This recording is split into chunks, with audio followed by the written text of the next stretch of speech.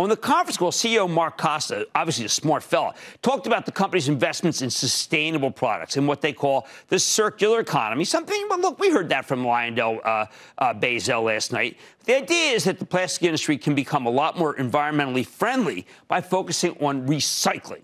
For example, Eastman is now building one of the world's largest plastic to plastic molecular recycling facilities where they convert old polyester into durable products. The company plans to recycle more than 500 million pounds of plastic waste annually by 2030. Otherwise, this stuff just ends up in landfills or waterways. It's why so many hate plastic, especially the young people. And that's how Eastman, a Stagio chemical company, made it uh, to number 27 on Barron's 2021 list of the most sustainable companies in the United States, a plastic company.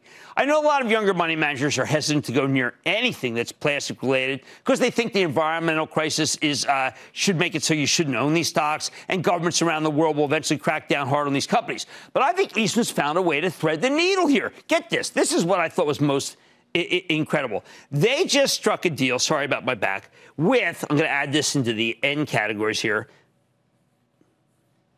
They, that's right, they stuck a deal with the finest luxury goods maker on earth. LVMH, the French luxury powerhouse, to supply packaging made through the molecular recycling process to LVMH's perfume and cosmetics division. That is quite the endorsement, people. I, I, it sounds like to me that finally we're getting to where real plastic recycling is here. They're not just making junk with it, they're selling stuff to LVMH. That's perhaps the most stylish company on earth as a client. Now, that is a great token.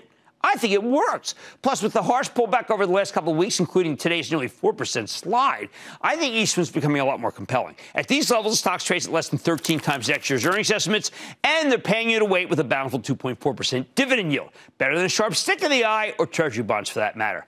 I like this.